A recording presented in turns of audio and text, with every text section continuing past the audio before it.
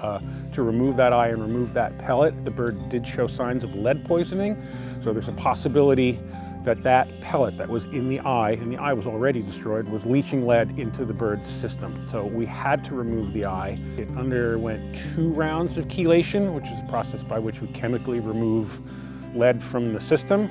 Um, and that seems to have done the trick. The bird has no sign of uh, any significant lead poisoning now. It's active, it's eating, it's flying, it's doing okay.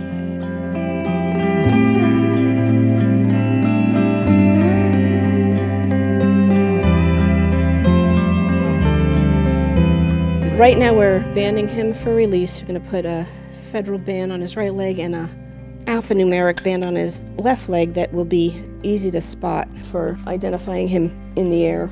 So this bird was illegally shot. There's an active investigation going on. State Fish and Wildlife uh, law enforcement will um, try to find the perpetrator, and that's hard to do unless someone turns themselves in or someone saw this happen. It's not likely that we'll, we'll find who did this. Um, that's not what we do here at the Raptor Trust. Our goal is to help the bird, and in this case, we were able to do that.